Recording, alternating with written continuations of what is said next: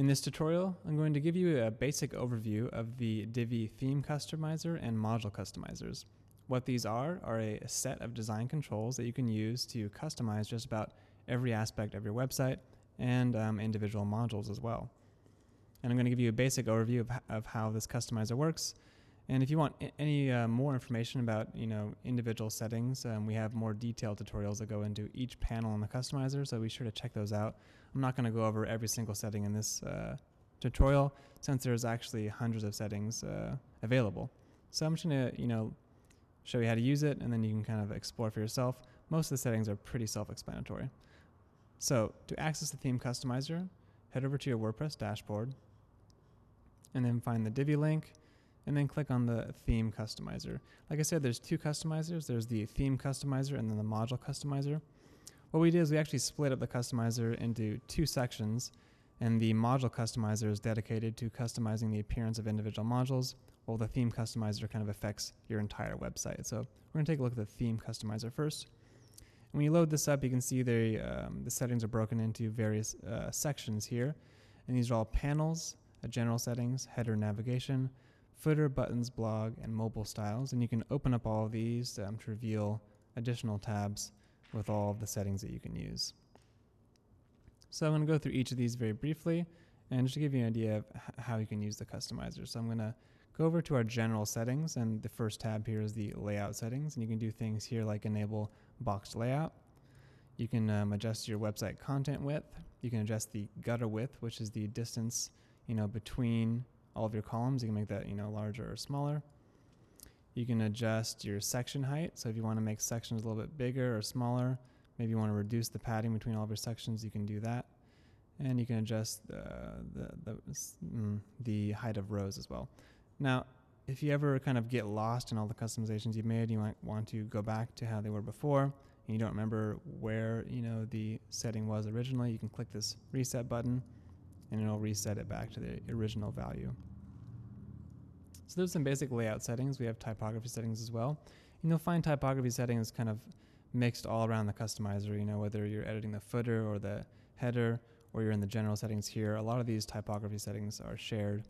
And so, and they all work the same way.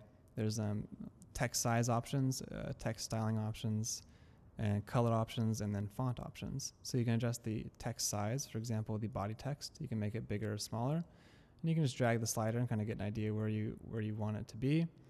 You can um, adjust the line height as well. You can adjust the header text size, um, letter spacing between the header letters, and you can adjust font styles as well. So let me start over. For example, here's a here's a here's a fun way to kind of combine these settings. I might make my header font bold, make it all caps, uh, reduce the text size a little bit, and then add some letter spacing. And just with a few clicks, we've kind of like really changed the look and feel of our site. You can also choose between dozens of fonts here to use for your header and body, and you can adjust the colors as well. We have a background tab here where you can add a background image or background color. And that's all a basic overview of the general settings. So once, um, if you ever want to get back to the main customizer, you click this arrow here and you can uh, kind of delve into the other panels. So I'm going to go over to header and navigation next. And there's lots of settings here. Like I said, we have a, a tutorial dedicated just to header settings. So there's like a, a, lot you can do, especially when you start combining the settings here to create some really cool effects. I'm just going to give you a basic overview. There's a header format box, which kind of adjust the overall layout of the header. You can switch between vertical navigation and horizontal navigation. You can choose to hide your navigation until the user scrolls. And you can choose between different header styles. We have centered, we have centered inline logo, and we have the default layout. Um, and then we have vertical navigation, as I said, which places the navigation on the left, or you can go back to kind of the standard horizontal one. Next, you can customize the primary menu bar, which is the, the bigger white menu bar here that contains your logo. You can adjust um, the text sizes. So if I wanted to kind of change these text sizes to match our headers that we just changed earlier, well, I might make them bold, all caps, increase the letter spacing a bit, and there that kind of kind of matches the changes we made earlier. And going a bit further, you can change the background color. So I could change this to purple, let's say. And then I might change my links to white so that they show up a little bit better. And there you can see just from the few clicks, you've, you've really changed kind of the appearance and the style of this header. Now you can do the same kind of stuff for the secondary menu bar, which is the bar that appears above the header.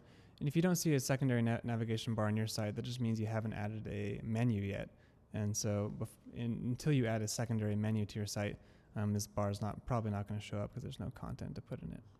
And you can adjust the background color and uh, text sizes and all that good stuff, just like you can do for every uh, for the primary navigation bar. Finally, we have the fixed navigation. Now, what this is is the navigation bar when it's in its fixed state as you scroll. So you'll notice as you scroll down, the header gets uh, fixed to the top of the screen here, and we call that the fixed header when it kind of sticks to the top. And you can adjust the styles for that independently. For example, I might make it a little bit smaller I want to give it more room. So if I scroll up, it gets it goes back to its normal state, and I scroll down, it gets smaller. So it gets I've adjusted the fixed menu height kind of independently there.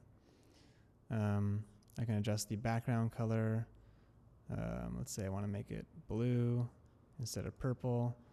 Maybe I want to make change my mind, make it a little bigger.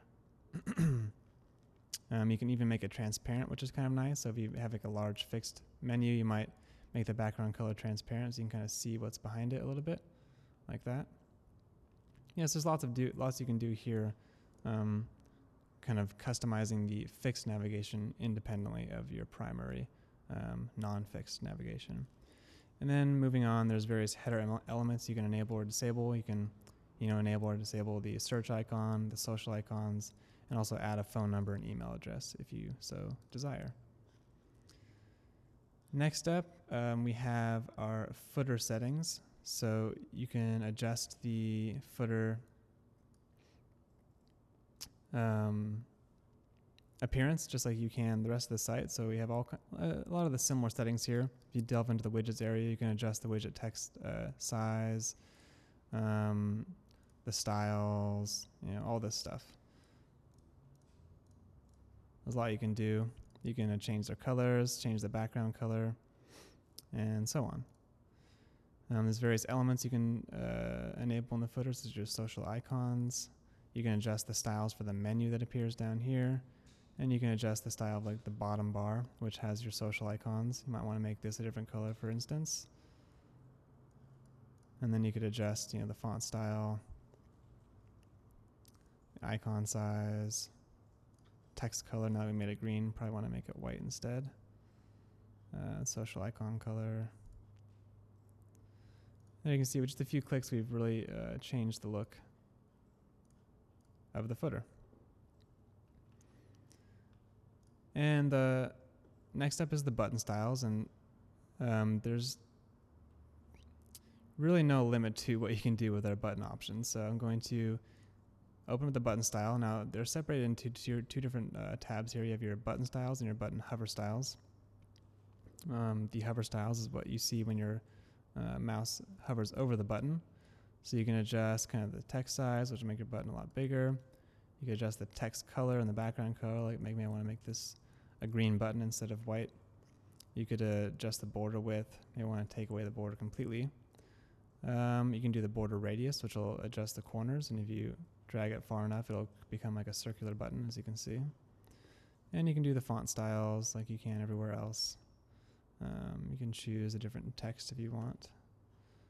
Uh, a different font, I mean, sorry. And you can adjust the icon, icon color, icon placement, and all that. And where it really gets interesting is where you combine this with the hover styles. So, for example, let's say I want to make this turn red when you hover over it. Well, you just have to change the background color to red, and you'll get a nice animation there from green to red. And then you can adjust, you know, the letter spacing. Maybe you want your button to get a little bigger, like that when you hover over it. Um, you can add a border to it. Border color, have the border color fade uh, during the transition. Um, even adjust the border radius uh, differently. So maybe I want to make this square. You can go from circle to square, which is a little crazy, but maybe if you use it in moderation. It could be cool. Maybe you want to like just make it a little bit less rounded, like this. So yeah, there's a, there's a lot of fun stuff you can do with buttons. So I uh, encourage you to explore that, or take a look at our button tutorial, which goes into more detail. Um, we have various blog options, so you can adjust all the fonts, you know, for your blog posts, you know, such as your header and the metadata and all that. you know how that works. I'm not going to go into that. And the, the final thing I want to touch on here is the mobile styles. So what's, what's cool about the, the Divi theme customizer is that you can adjust mobile styles independently from your desktop styles.